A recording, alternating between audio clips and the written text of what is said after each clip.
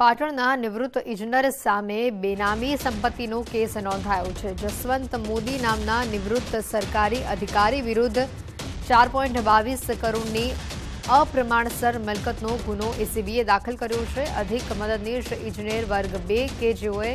પાટણના સમી ખાતે વર્ષ બે હજાર દસથી બે હજાર ઓગણીસ સુધી ફરજ બજાવી બે હજાર બાવીસમાં નિવૃત્તિ હાંસલ કરી હતી જસવંત મોદી પાસેથી ચાર પોઈન્ટ બાવીસ કરોડની બેનામી સંપત્તિ મળી આવી છે અને તેના પરિવાર પાસેથી પણ અઢાર પોઈન્ટ ત્રેવીસ કરોડનું બેંક બેલેન્સ ફિક્સ ડિપોઝિટ તેમજ શેર બજારમાં રોકાણ મળી આવ્યું છે ગુનો નોંધાતા જશવંત મોદી પરિવાર સાથે